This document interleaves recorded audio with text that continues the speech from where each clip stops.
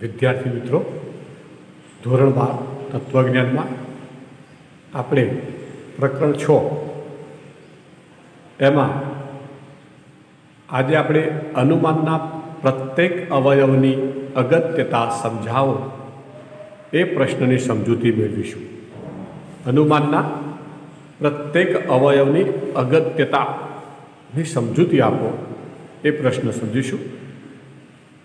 એટલે કે અહીંયા આપણે જે ભારતીય તર્કશાસ્ત્રમાં ન્યાય દર્શનના મતે અનુમાનનું બંધારણ શું છે એ જાણીશું.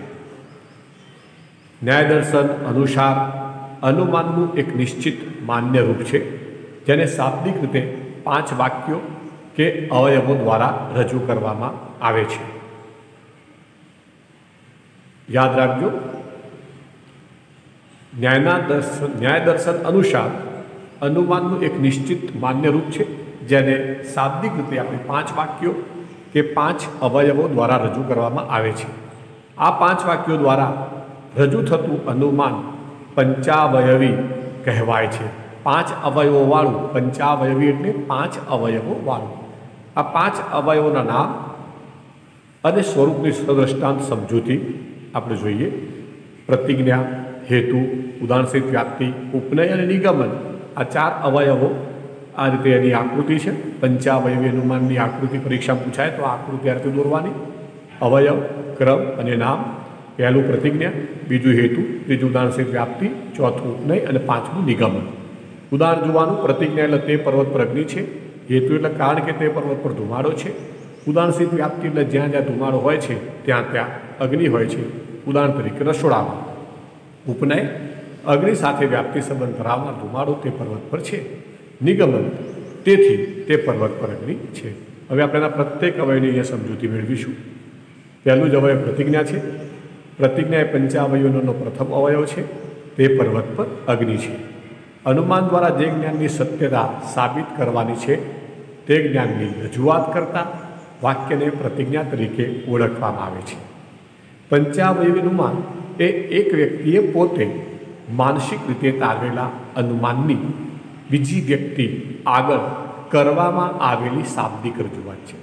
એટલે એક વ્યક્તિએ પોતે માનસિક રીતે જે જ્ઞાન પ્રાપ્ત કર્યું છે, એ અન્ય વ્યક્તિ સમક્ષ રજૂ કરવામાં આવે છે, એટલે એક શાબ્દિક એમ કે રજૂઆત છે. વક્તાએ અનુમાન દ્વારા જે ફલિતદાન તાર્યું છે, તે શ્રોતાને પહેલેથી જણાવી દેવામાં આવે. તો તે ફલિત વિધાન માટે અનુમાનમાં રજૂ થયેલા આધાર વિધાનનું શ્રોતા યોગ્ય રીતે મૂલ્યાંકન કરી શકે છે. એટલે ભાઈ ફલિત વિધાન એમ તો પહેલેથી જ આપણે વક્તા જે છે એ શ્રોતાને જણાવી દે છે કે, હે શ્રોતાઓ, હું તમારી સમક્ષ તે પર્વત પર છે એ સાબિત કરવા જઈ રહ્યો છું. એટલે પછી એ ફલિતદારના સમર્થનમાં જે આધાર વિધાન રજૂ કરવામાં આવે, એનું શ્રોતા યોગ્ય રીતે એમ મૂલ્યાંકન કરી શકે. ફલિત વિધાનના સંદર્ભમાં વિચાર કરતા જો શ્રોતાને આધાર વિધાનો સ્વીકાર્ય લાગે, તો તેને આધારે તે ફલિજનની સત્યતાનો પણ સ્વીકાર કરે છે. આમ, જો સામી વ્યક્તિ પાસે તાર્કિક આધારો રજૂ કરીને જો ફલિત વિધાનનો સ્વીકાર કરાવવો હોય, તો એ ફલિત તેને પહેલેથી જ જણાવી દેવામાં આવે. એ મનોવૈજ્ઞાનિક અને તાર્કિક બંને દ્રષ્ટિએ કારક નીવડે છે. પ્રસ્તુત ઉદાહરણમાં વક્તા પ્રતિજ્ઞા વાક્ય રજૂ કરીને શ્રોતાને પ્રથમથી જ એમ જણાવી દે છે કે હું તમારી આગળ તે પર્વત પર અગ્નિ છે એમ સાબિત કરવા માગું છું. ઉપલબ્ધ દ્રષ્ટિએ પ્રતિજ્ઞા એ ફલિત વિધાનનું નિરર્થક ઉચ્ચારણ હોય તેવું જણાય છે. પરંતુ પ્રતિજ્ઞા એ પંચાવય અનુમાનમાં આવતું વધારાનું વાક્ય નથી, પણ સામી વ્યક્તિને પ્રતીતિ કરાવવા માટે રજૂ થયેલા પંચાવયવી અનુમાનનું ખૂબ જ મહત્વનું સોપાન છે. બીજું અવયવ છે હેતુ. હેતુ એ પંચાવયવી અનુમાનનો બીજો અવયવ છે. કારણ કે તે પર્વત પર ધુમાડો છે. જેના પ્રત્યક્ષ જ્ઞાનથી અનુમાન ક્રિયાનો આરંભ થાય છે, તેને હેતુ કહેવામાં આવે છે. આ હેતુની વ્યાખ્યા છે. જેના પ્રત્યક્ષ જ્ઞાનથી અનુમાન ક્રિયાનો આરંભ થાય છે, તેને હેતુ કહેવામાં આવે છે.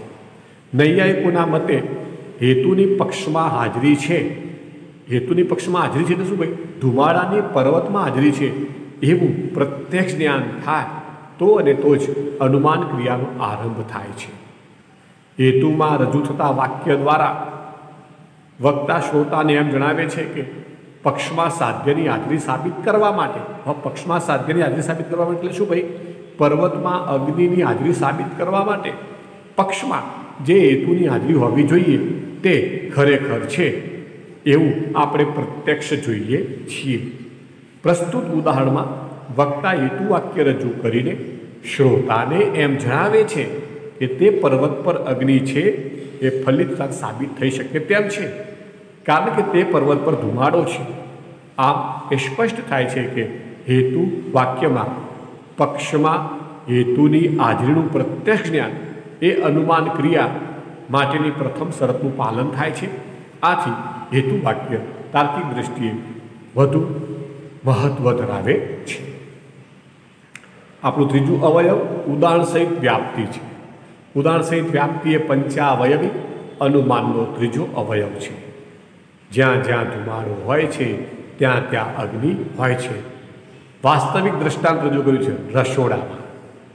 ન્યાય દર્શન અનુસાર અનુમાન ક્રિયામાં હેતુનું પક્ષમાં પ્રત્યક્ષ જ્ઞાન થયા પછી હેતુ અને સાધ્ય વચ્ચેના વ્યાપ્તિ સંબંધની સ્મૃતિ થાય એ જરૂરી છે.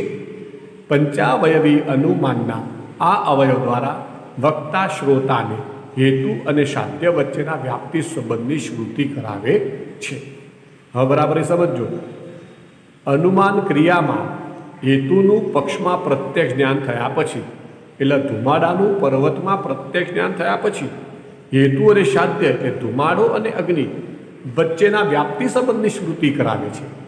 એટલે એ બંને વચ્ચે વ્યાપ્તિ સંબંધ છે. હંમેશા જ્યાં જ્યાં ધુમાડો હોય છે, એમ કે ત્યાં ત્યાં અગ્નિ હોય છે, એવા વ્યાપ્તિ સંબંધની આપણને સ્મૃતિ થવી જરૂરી છે. અને પંચાવયવી અનુમાનનું આ અવયવ દ્વારા વક્તા શ્રોતાને હેતુ અને સાધ્ય વચ્ચેના વ્યાપ્તિ સંબંધની સ્મૃતિ વાસ્તવિક ઉદાહરણ રજૂ કરીને જણાવે છે. રસોડાનું વાસ્તવિક દ્રષ્ટાંત રજૂ કરીને જણાવે છે. હેતુ અને સાધ્ય વચ્ચે વ્યાપ્તિ સંબંધ છે. એવું જ્ઞાન આપણને વાસ્તવિક ઉદાહરણના નિરીક્ષણને આધારે મળેલું છે અને તેથી તે સર્વથા સ્વીકાર્ય છે.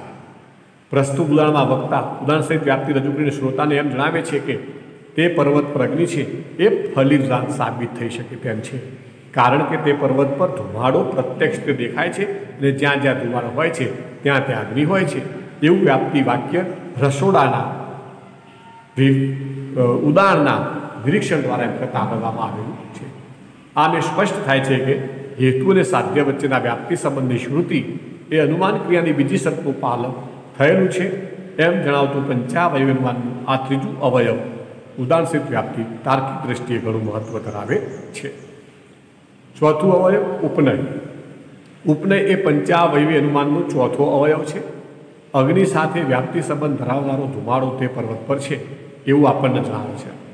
ઉદાહરણ સહિત વ્યાપ્તિ વાક્યમાં હેતુ અને સાધ્ય વચ્ચેના વ્યાપ્તિ સંબંધની જે વાત કરવામાં આવી છે, તે પક્ષને બરાબર લાગુ પડે છે. એમ જણાવતા પંચાવયવનુમાનના આ અવયવને એટલા માટે ઉપનય કહેવામાં આવે છે કે શ્રોતાને નિગમનની પાસે નિગમનની પાસે દોરી જાય છે. ઉપનય શબ્દનો અર્થ જ છે, તમે જુઓ ઉપ એટલે પાસે અને નય એટલે દોરવું. એટલે તે એમ કે આપણને નિગમનની પાસે દોરી જાય છે. પ્રસ્તુત ઉદાહરણમાં વક્તા ઉપનય વાક્ય રજૂ કરીને શ્રોતાને એમ જણાવે છે કે તે પર્વત પ્રજ્ઞ છે. એ ફલિદાન સાબિત થઈ ચૂકેલા વિધાન બરાબર છે. કારણ કે અગ્નિ સાથે વ્યાપ્તિ સંબંધ ધરાવનાર ધુમાડો તે પર્વત પર છે. નૈયાયિકોના મતે એક, પક્ષમાં હેતુની હાજરીનું પ્રત્યક્ષ જ્ઞાન અને બે હેતુ અને સાધ્ય વચ્ચે વ્યાપ્તિ સંબંધ છે. એ હકીકતની સ્મૃતિ એ બે અનુમાન ક્રિયાની અનિવાર્ય શરતો છે.